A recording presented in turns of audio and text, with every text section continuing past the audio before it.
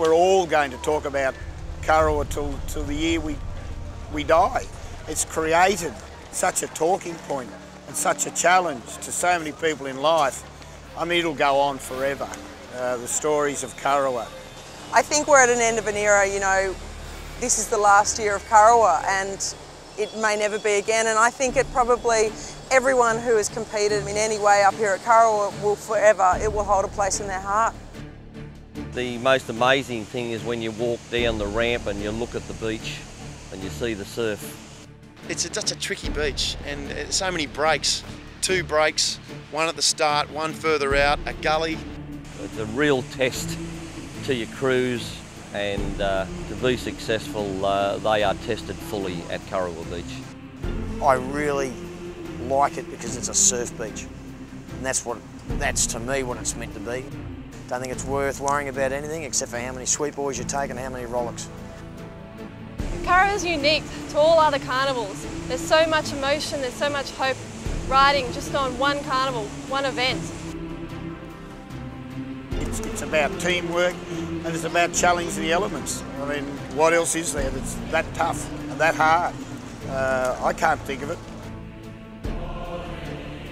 Come down a wave late, and the nose dug straight in, the boat stood end on end. That was probably the hairiest moment. Listen to the oars fly out the boat as you're going 30 foot in the air. But Kurrawa just tests you that much more again. You know, there's nowhere to hide sort of thing. You know, we'd had a win and we're up there having a drink and, and we turned around and looked on the screen and that was the first time we saw what had happened to North Bondi and Coogee and it was, it was really the most horrific you know, mishap I'd seen in surf boats. That, uh, it was a big wave and it totally swallowed them up. Here's Queenscliff coming down there. Now watch what happens here. There's Bill Gola. That's Howard Christie and Matt Hamilton. Look at Bill Gola. It goes right up in the air. He's trying to get, he's got no sweeper in the air, so he, he's lost control. Down they go, smash and crash. And that's 26 footer boat rolling over there, and they led all the way. Head on, look at this one here. There we go again. And this will be a back shoot, no doubt about it. There we go, down backwards. A late takeoff. What's going to happen here? Can he hold it? No, he doesn't. He doesn't. He's gone. He's gone. He's out of the boat. Now the girls are still there. They can still win this.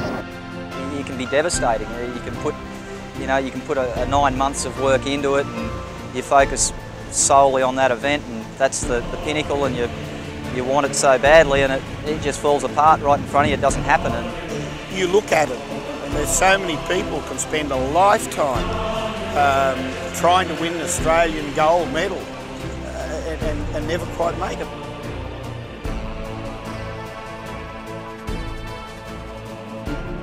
For all the crews that haven't won at Kurrawa, keep going and do it for your mates anyway. The love of the sport is good enough to keep you coming back. you know, that's what the sport's about really. If you're, if you're lucky enough to walk away from it with those friendships and those memories, you're very fortunate.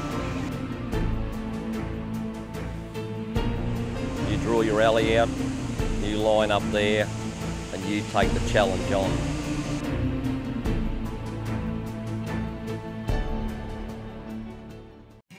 It's just, it's a total package. Unless you have that total package together, you're not going to win. Beautifully held. Can he hold it straight? Gets it down the bottom and now he loses it. They've got sideways, but he's still in contention.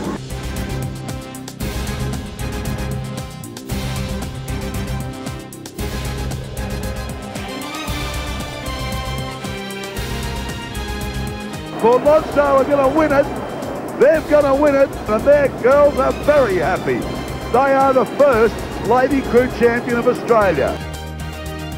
We've got it, boys. He looks around. We're over the line. And here he goes. Bye-bye, boys.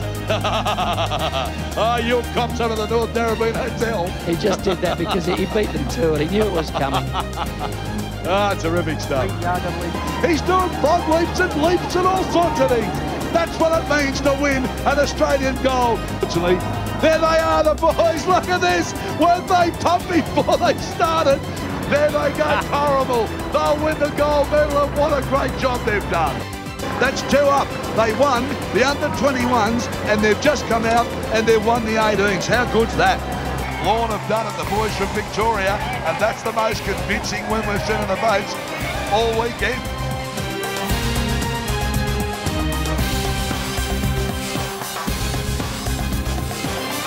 They know they've got it. Kurrawa, what a club.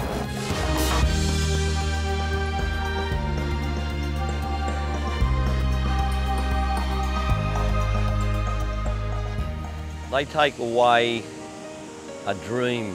They can look back later on in life and uh, they can tell their grandkids that they were successful, what they did. It was, it's a fantastic achievement, what they did to win up there. Bill Gola, no doubt about it. Bill Gola and the yellow boat are going to take the gold medal. They've made every final so far. I think my crews can look back and uh, and know that they were successful at Kurrawa and feel really satisfied because they know they've taken on the challenge, they've done the work and they were successful. So they can be very proud of themselves. Crossing the line and realising I won, it's just a sense of achievement. You spend 10 months training for one day and when you cross that line you realise that you did it all right. You did the right number of stair runs, you did the right number of ergos, you did the right number of, you woke up the right number of mornings and went running.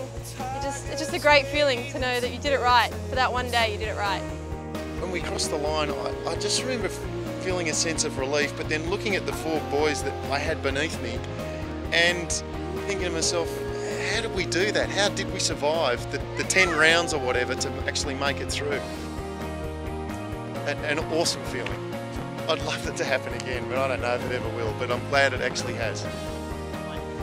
No, you got people running down, congratulating you in, in your face. You know, you, that's probably the biggest part. Everyone coming down and, and being a part of it. It's not just sort of the crew. It's it's a club that's built around it, and it doesn't matter who in the club's in it. My dad, you know, he took that crew previously for the first one I won, and as the first time, he probably said he's, he's proud of me for, for a lot of years. Uh, was when I won that first gold. On the way in, there was a bit of chaos. There was boats running into one another, uh, and we weren't sure whether we'd actually got it or, or not. So it was a bit of a delayed feeling. It just in the it, you know in the bottom of your mind, you, you think, yeah, we've got this, we've got this, but don't get too excited yet.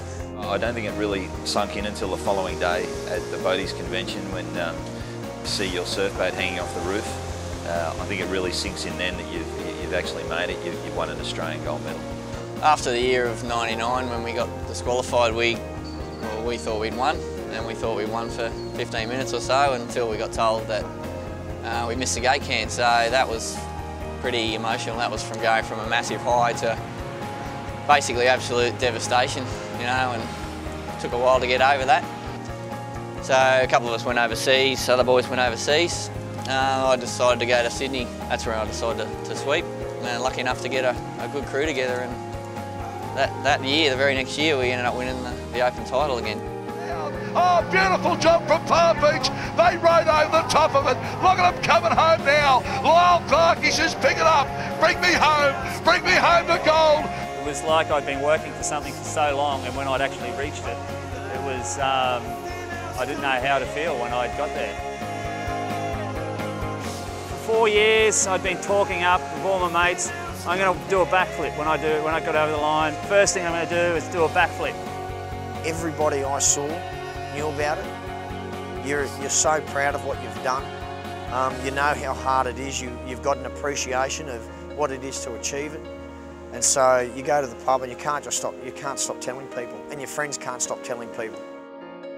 I don't think they understand what it's about until you can talk to them and tell them that it'll change your life. But when all of a sudden there's people they don't know saying, that's unbelievable, that's when you know that you've changed somebody's life. As an adult, there's probably more bragging rights in the pub, but I think you actually do change a young person's life if you can give them that sort of achievement after they've put in all that disciplined work.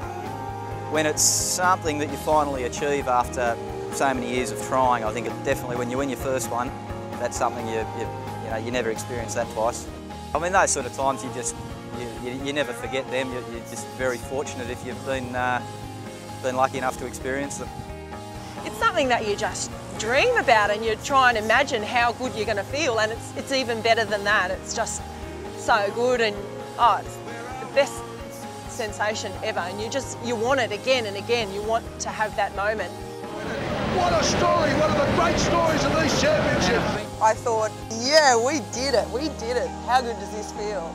You know, I, I don't think I've ever experienced the satisfaction like I did that, that first time that we won gold. You're virtually numb inside, but you can't yell hard enough and get out of your own body. But I, I just, that much energy, I, you just felt like you just walked onto that beach. You can, you can run up the side of those buildings up there. It's just, nothing. the boys weren't tired and they rode the race of their life. Downright amazing feeling, across that line. I'll never ever forget it. That's where I saw the sweeps Richard's arms, arms go up. I heard the crowd just yelling and cheering. I thought, we've done it. Can't believe it. Australian champions.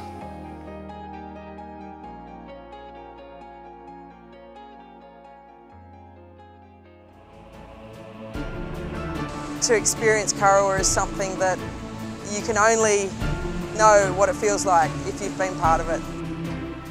Let's have a drink today and celebrate Kurrawa. It's been good to us. Let's go somewhere else and enjoy ourselves as well.